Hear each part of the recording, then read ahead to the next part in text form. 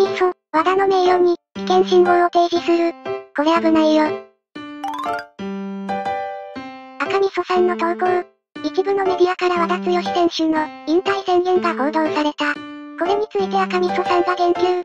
もし、和田が拒否とか全くしてないなら、自身の名誉を傷つける話まで現役生活の終盤に流されるのは、本当にかわいそう。事実に反するなら、どこの報道でもホークスの球団はしっかり否定して、和田の名誉を守ってあげた方がいい。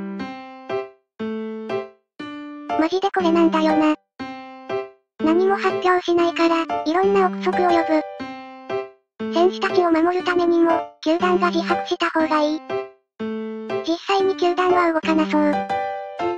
中日の米騒動とか、立浪ネタが盛り上がった時も、球団は何もしなかったから無理かもね。フロントは和田を守る気配ないな。メディアの一人勝ちやん。リークしてるやつはマジでやばい。